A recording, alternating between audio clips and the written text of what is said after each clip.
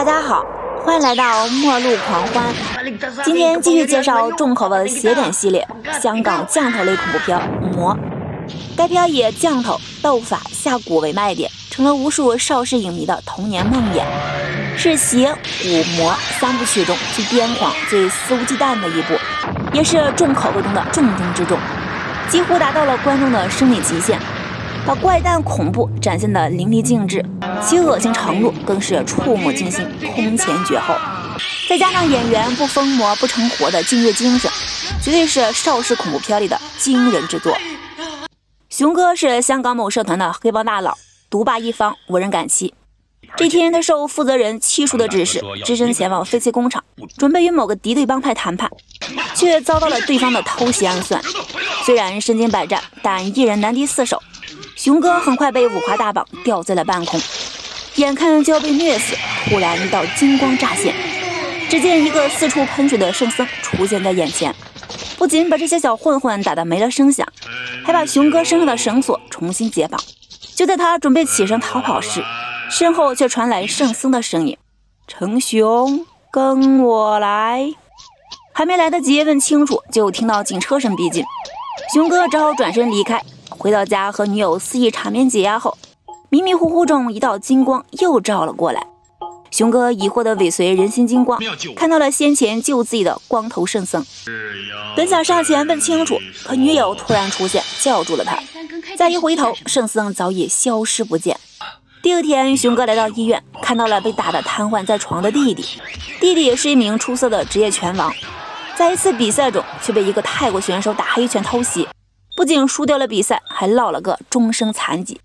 熊哥不服气，决定替弟弟出这口恶气，然后来到泰国，找到那名出英招的选手，一番挑逗辱骂后，对方立下了战书，决定三个月后在赛场上一比高下。熊哥没有说什么，默认了比赛。现在首要的任务已经完成，熊哥便打算在泰国畅玩几天。没想到在旅游过程中，却无意间在一座寺庙上看到了和之前完全一样的人形金光。出于好奇，熊哥来到寺庙前。此时，一个小和尚出来搭讪：“我们等你很久了，主持请你进去。”熊哥听后深感诧异，但也没有多问，跟着小和尚走了进去。主持不光知道他的名字，还知道他今天一定会来这里，好像这一切都是提前安排好的一样。随后，主持向熊哥说起了事情的来龙去脉。原来，一年前，泰国圣僧去香港收复了一个名叫麦古素的蝙蝠系降头师。而附在对方身上的蝙蝠邪灵也随之脱离真身，被圣僧带回了泰国。回去后，圣僧先是用圣器将其固定好，洒了些圣水后，蝙蝠邪灵瞬间变成了一滩白骨。看着眼前的蝙蝠雕像由黑变白，散落在地上，蝙蝠王顿时明白徒弟遭遇不测，急忙从瓦缸里拿出老鼠，疯狂吸食，把新鲜老鼠血吐在了白骨上，加上魔性的咒语召唤，蝙蝠骨架竟然开始动弹。重新恢复了行动能力。与此同时，圣僧这边的白骨也有了反应，一点一点地向外挪动。就在他与佛光圣地大门几步之遥时，恰好被圣僧看到，拿起锤子将其砸得粉碎。另一边的蝙蝠王看着自己的法术被破解，顿时火冒三丈，便打算用更邪恶的毒酱来对付圣僧。他先是用唢呐召唤出数条剧毒蛇王，提取毒液，再与新鲜脑花混合搅拌。大火煮开，小火慢炖，一番精心呵护后，混合物变成了杀伤力极强的蓝色粘稠物。放到桌上后，让三只宠物蜘蛛吸食。待到夜深人静之时，蝙蝠王带着宠物蜘蛛来到寺庙，让蜘蛛降落到圣僧头上。随着毒刺的轻轻触碰，金针毒将也当即发作。只听见圣僧痛苦的哀嚎后，就原地毒发身亡。本来圣僧已修成金身。因为中了毒将，没能完成。圣僧在弥留之际对主持说：“有一个叫成雄的人会帮他解除毒将，还他金身。”而圣僧的遗体就安置在一个瓦缸里。熊哥对这一切难以置信，好奇地走到圣僧灵位前，发现对方就是先前救自己的光头和尚。主持叫徒弟砸开瓦缸，圣僧的干尸立刻清晰可见。只是上前简单看了几眼，大门就被主持等人紧紧关闭。熊哥发现情况不妙，准备开溜，可圣僧干尸却突然说话。原来两人的前世是一对同命相连的双胞胎，如果一人死了，另一人也难逃一劫。而熊哥现在一直还活着，全靠圣僧的修行在支撑。只有熊哥帮圣僧解降，获得金身，两人才会平安无事。一旦圣僧的尸体腐烂，熊哥也会跟着慢慢消亡。此时的熊哥根本不信这些胡扯的东西，头也不回的就离开了。可回到酒店后，他就深感不适，一阵强烈的呕吐感后，竟从嘴里吐出一条无比肥大的鲜活鳗鱼。这可把熊哥吓得不轻，终于相信了圣僧的预言。随后来到寺庙，主持表示，消灭邪魔方可化险为夷，但是必须要剃发为僧。熊哥虽有几分不愿，但是为了保命，也只能硬着头皮答应了下来。经过一条龙的剃度仪式后，黑帮大佬变成了佛门弟子。在主持的指导下，他苦练打坐修行，再加上众师兄的力量传输，熊哥的法力与日俱增，破缸而出。一番深水洗礼后，主持在庄严肃穆的佛像前问熊哥：“是否犯过毒、酒、杀、色等戒条？”熊哥没有犹豫，一本正经的一一否定。至此，他功德圆满，终于可以降妖除魔了。另一边的蝙蝠王已用无数鳄鱼头骨摆好了应战法阵，揪起一只公鸡，把鸡头砍掉，一边念咒，一边把积雪撒在白骨上。不一会儿，蝙蝠小鬼就从白骨里一一钻出。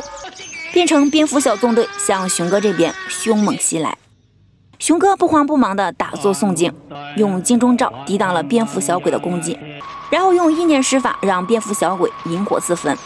蝙蝠王发现自己败下阵来，一阵暴怒，又把白米撒在鳄鱼头骨上施咒，鳄鱼瞬间复活，张牙舞爪地来到熊哥身边，本想移动饱餐，却被熊哥一一塞进了烛台。看着鳄鱼纷纷撤离。熊哥拍了拍身上的土，就离开了。蝙蝠王看后，直接认出了手中的瓦缸。熊哥一不留神，被打的几十个三百六十度空中旋转后，完美趴地。蝙蝠王还嫌不够，又开始更高级的致命降头。在生吃了一些鸡肠鸡胗后，又召唤出一个 UFO 大头怪。他一出场就直接把灯芯生生通下。熊哥一看，也开始加强施法力度。大头怪顷刻间炸开了花。灯芯重新复位后，蝙蝠王也瘫倒在地，随即把粘稠液体涂抹在颈部，再插入长长的银针，左右摇晃后，头颅连带着鲜红的血线缓缓飞起，把熊哥紧紧缠绕。就在熊哥即将窒息的时候，红红的太阳升了起来。蝙蝠王想逃跑，却被熊哥一把拽住。经过阳光的沐浴后，飞头变成了骷髅，永世不得超生。随着蝙蝠王的消亡。圣僧身上的金针毒将已完全解除，恢复了金身，而熊哥也摆脱了困扰，救了自己一命。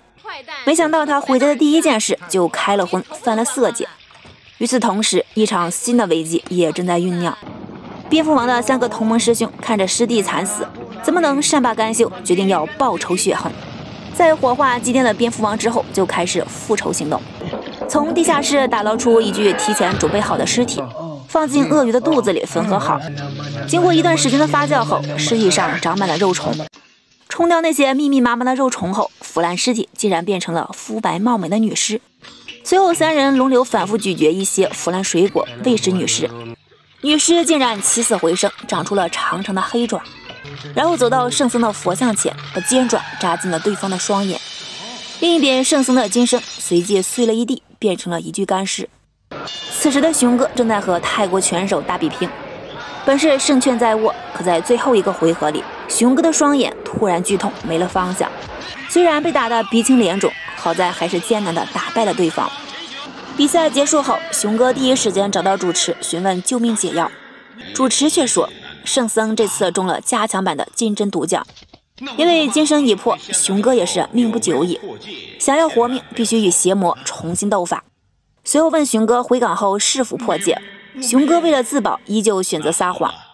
主持相信了他的一面之词，带着熊哥来到了一座古庙，还从一棵千年灵芝上获得了流铁，它是泰国的罕见灵异植物，放入身体后会跟着血脉运行，从而百邪不侵。一切准备就绪后，主持在大佛前再次询问他有无破戒，熊哥还想瞒天过海赌一把。没想到话音刚落，手上的佛经就燃烧了起来。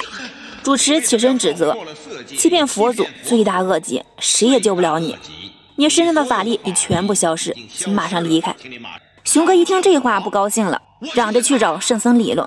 可圣僧却说自己也无能为力，唯一的办法就是去找佛门至宝舍利子。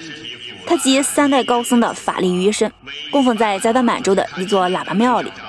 一路艰辛跋涉后，熊哥顺利抵达寺庙，而舍利子就在佛祖的大手里，但平日里却看不见，只有太阳升起后，阳光照射到佛祖的眼睛，再反射到手掌时，才能看到那个舍利子。不过此时已是傍晚，只能等到明天一早再做打算。回到住所后，熊哥割开手臂，把流铁注入到体内，再用肉馅缝合好。经过一夜的血液流通，硫铁也融会贯通。第二天刚蒙蒙亮，熊哥就迫不及待地来到了寺庙，准备偷偷盗取舍利子。没想到舍利子没看着，一个穿着怪衣的妖姬就出现在眼前。真是之前被邪魔三兄弟复活的女尸。她先是召唤出一双骷髅手，狂抓熊哥的肉皮，而后又挥了挥长长的尖爪手臂，只见一只发着绿光的庞大鳄鱼又出来攻击。好在熊哥身手不凡，躲过了笨重怪物的层层追击。妖姬见鳄鱼怪没了杀伤力，直接用双腿夹住熊哥的头，随着身体的左右扭动，不计其数的毛毛虫从天而降。